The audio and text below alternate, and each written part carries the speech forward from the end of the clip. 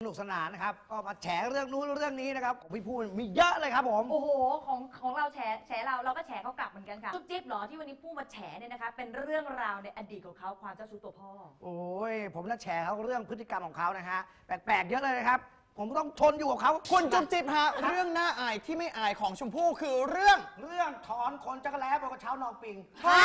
เดี๋ยวเดี๋ยวชมพู่ครับ จุ๊บจิ๊บจะโกรธมาก ถ้าคนทักผิดว่าอะไรจั กรบุ๋มเอ้ยโกรธไหมโกรธเหรอ อะโกรธไหมถามจริง ใช่มันเสียเซลล์อะคุณจักรบุ๋มฮะเอ้ยอะ จุ๊บจิ๊บครับอ๋อจุ๊บจิ๊บ โอ้ยกลับดีกว่าเฮ้ยเฮ้ยใจเย็นใจเย็นใจเย็น ไม่งอนไม่งอนเราไม่งอนดิอะต่อต่ออะ คุณจ๋องแจ๋งฮะเฮ้ยแล้วพ่อผมนะอ๋อเล่าความชอบแอลผู้ชายในกองของชมพู่ให้ฟังหน่อย โอ้โห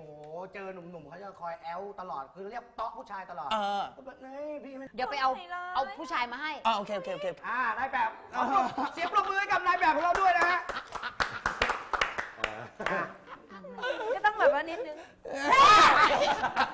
ส่วนไหนในร่างกายของบอยที่ทำให้ชมพู่อดใจไม่ไหวแล้ว อุ้ยเดี๋ยวนะแหมคนให้ตอบเร็วเดี๋ยวตอบไม่ได้อะวีรกรรมความเจ้าชู้ที่ครั้งหนึ่งขาเตียงถึงกับสั่นคลอน โอ้โหเยอะมากเลยโอ้โหคุณจุ๊บจิ๊บฮะ มีเงินก็ใช้ไม่ได้ ทุกวันนี้เมียให้เงินติดกระเป๋ากี่บาท เอาวันละสองร้อยเหตุการณ์ใจร้อนทะเลาะกับบอยที่ทำให้รู้สึกผิดมาจนถึงทุกวันนี้